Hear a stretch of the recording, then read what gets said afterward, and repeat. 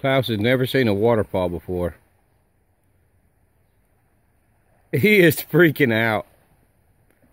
We got some flooding. What are you talking about?